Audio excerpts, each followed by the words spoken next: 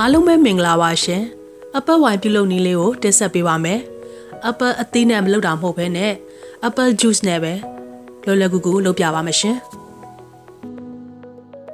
Apple wine ပြုလုပ်နည်းလေးကိုတောင်းဆိုထားတဲ့ချစ်မိတ်ဆွေများလိုက်လုံနိုင်မယ်လို့မျှော်လင့်ပါတယ်ရှင်။ရှေ့ဆက်ကြည့်အောင်နော်။ Apple wine လုပ်မယ်ဆိုရင်လိုအပ်တဲ့ပစ္စည်းတွေဟာ အယ်ကိုဟောတိုင်းနဲ့သာမိုမီတာရဲ့ရိုးရိုးသာမိုမီတာရဲ့တကြားအညိုရဲ့လေပိုက်ရဲ့အယ်ကိုဟောရစ်ရဲ့ရင်သွေးထွက်ဖို့ခွက်ရဲ့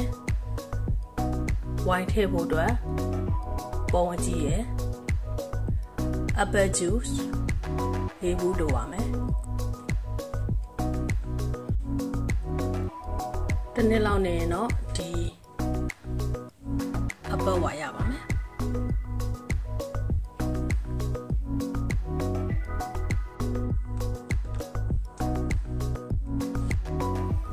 ရင်နွေးစုပြီးသားကိုနည်းနည်းအေးအေးခံထားပါပြီးလို့ရှိရင်ခွက်ထဲမှာထည့်ပြီးတော့ဒီတာမိုမီတာနဲ့တိုင်းပါမယ်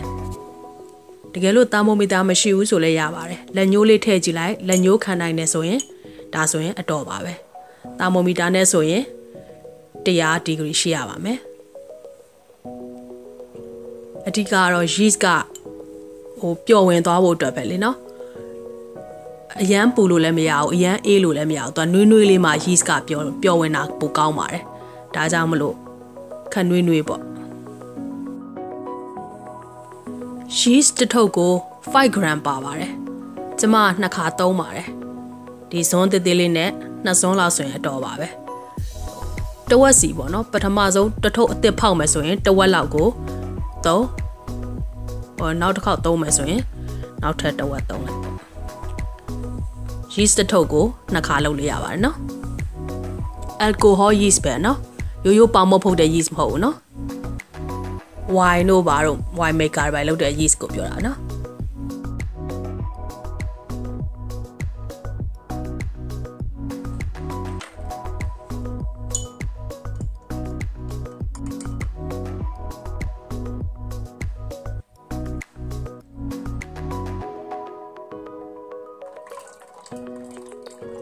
ရေနွေးကတော့အခုပြထားတဲ့ဖန်ခွက်လေးနဲ့တဝက်လောက်ဆိုရင်အတော်ပါပဲ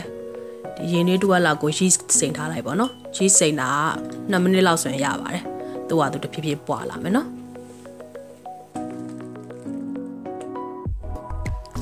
တကြားအညို 1kg တစ်ထုပ်ကို3ပုံ2ပုံသုံးမယ်နော်950 ml ပေါ့နော်950 ml လောက်သုံးလိုက်မယ် ကြည့်လိုက်ပေါ့3ပုံပုံပြီး2ပုံလောက်3ချိုး2ချိုးလောက်ပေါ့နော်တစ်ချိုးလောက်ပဲအထုပ်ထဲမှာကြံမယ်နော်ဒီ apple juice လေးဘူးနဲ့ဆိုရင်ဒီတကြား 1kg 3ချိုး2ချိုးอ่ะအတော်ပါပဲเนาะ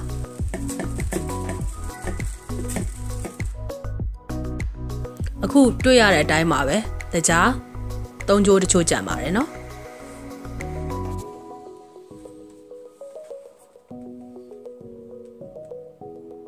တကြားထည့်ပြီးရင်တော့ apple juice ဖောက်ထည့်ပါ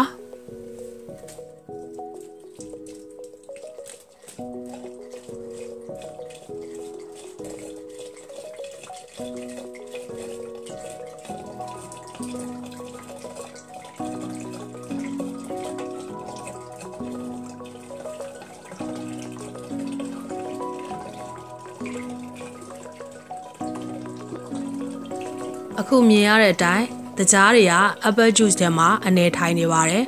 ဒီတကြားတွေကိုပျော်သွားတဲ့အထိ apple juice ကိုခလောက်ခလောက်ပြီးတော့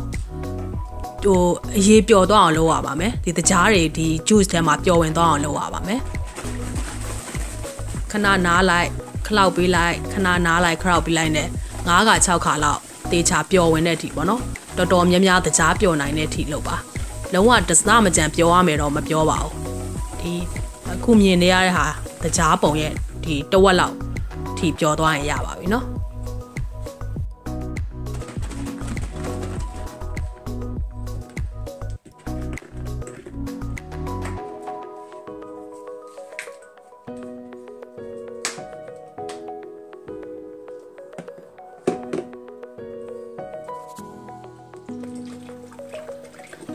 juice အများကြီးနဲ့တကြားကိုဖြော်လို့ရှိရင် လေးလေးလေးတယ်ဖြော်ရတာလည်းခက်ပါတယ်ဒါကြောင့်မလို့တကြားကိုတေချာလေးကောင်းကောင်းပျော်ဝင်သွားပြီဆိုမှနောက်ထပ်ဘူးတွေကိုထပ်ထပ်ပြီးတော့ဖြည့်သွားပါလေးဘူးလုံးအကုန်လုံးဖြည့်ရပါမယ်နော်နှစ်ဘူးလောက်ဖြည့်ပြီးရင်တော့ဒီ yeast ကလည်းပျော်နေပါပြီ yeast ကိုဘူးထဲထည့်လိုက်ပါမယ်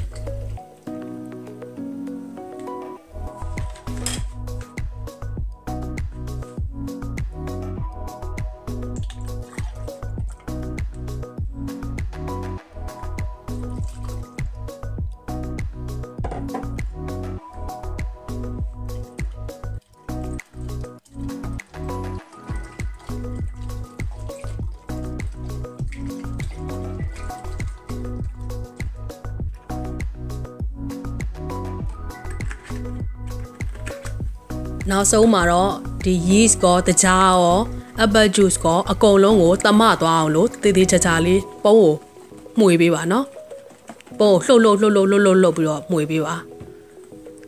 သုံးတဲ့ apple juice ကလည်း100% pure apple juice ကိုသုံးပါနော်ဆေးဆိုးတာဟိုအယောင်တွေပါတယ်ဆေးဆိုးထားတဲ့ဆေးရောင်တွေပါတယ်ရှူဂါတွေပါတယ်အဲ့ဒါတွေသုံးလို့မရပါဘူးเนาะလုံးဝဘာရှူဂါမှမပါဘဲနဲ့လုံးဝ100% pure apple juice ကိုပဲသုံးပေးပါနော်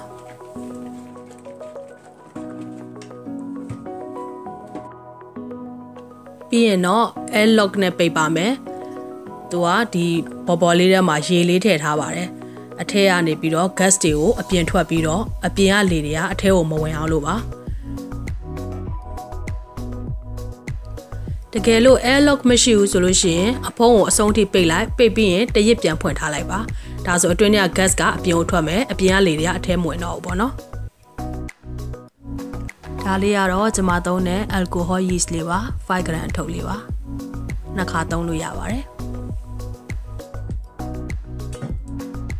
ဒီဝိုင်လေးကတော့လှုပ်ထားတာ2နှစ်လောက်ရှိပါပြီ2018နှစ်ကလှုပ်ထားပါတယ်အခုဆို2020ဆိုတော့2နှစ်ရှိပါပြီအခုအယ်ကိုဟောပမာဏကိုတိုင်းပြပါမယ်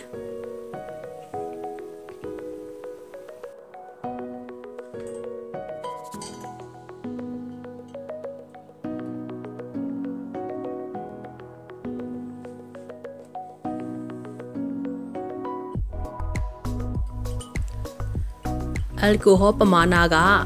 10%ရှိပါတယ်မြင်ရလားမသိဘူးเนาะဒီမှာ10ဆိုတာလေးပါเนาะအဲ့ဒီအယ်ကိုဟောအရေးလေးက10မှာရက်နေတော့10%မှာ20မှာဆိုရင်20%မှာ0ဆိုရင်တော့တခုမှမရှိပါဘူး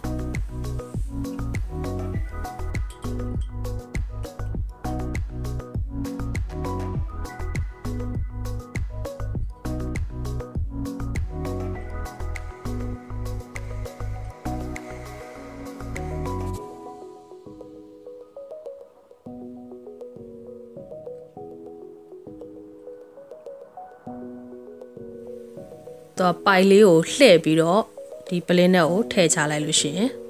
သူရှိတဲ့ပါဆက်နဲ့မှာသူရက်သွားမယ်နော်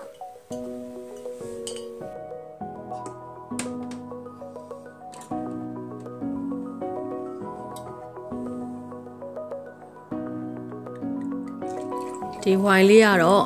နှစ်ကြာသွားတော့သူကတဖြည်းဖြည်းနဲ့ကြည်သွားပါတယ်ခုနဟိုလှုပ်ထားတဲ့ပုံးထဲကနေပြီးတော့ဒီပလင်းလေးတွေကို ထည့်လိုက်လို့ရှိရင်၄ပလင်း၅ပလင်းလောက်ရပါတယ်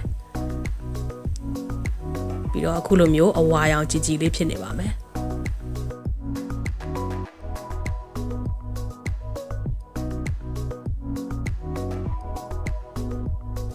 အခုဆိုရင်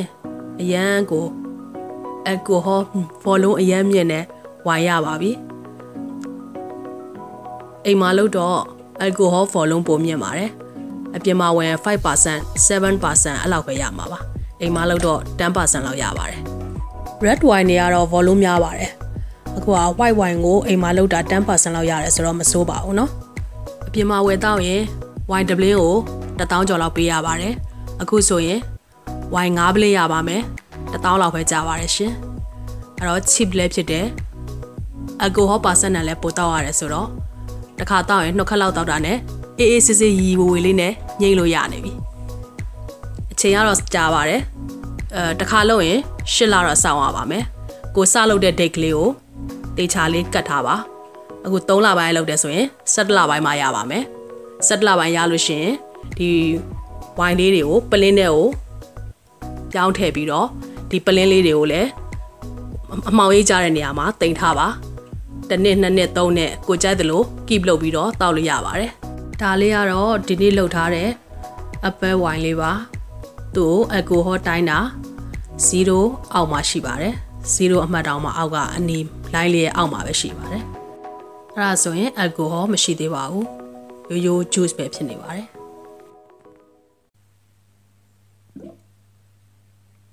ဒါလေးကတော့ဝိုင်ဘူးလေးအလုံးလုံးနေတာဖြစ်ပါတယ်အဲ့လိုမျိုးအတွင်းထဲကနေ gas တွေကအပြင်ကိုထွက်သွားပြီဆိုလို့ရှိရင် ဒါကိုလှုပ်ထားတဲ့ဝိုင်ကမှန်ကန်ပါတယ်အဲဆိုနောက်ထပ်၈လစောက်ရုံပါပဲလှုပ်ထားပြီးတော့မနက်ခင်းကိုစပြီးဝိုင်လှုပ်တယ်ဆိုရင်ညဘက်လောက်မှာဒီလိုအမြုပ်ကလေးတွေဖြစ်ပြီးတော့အထက်က gas တွေကအပြင်ကိုထွက်နေပါပြီအခုမြင်ရတဲ့အတိုင်းပါပဲ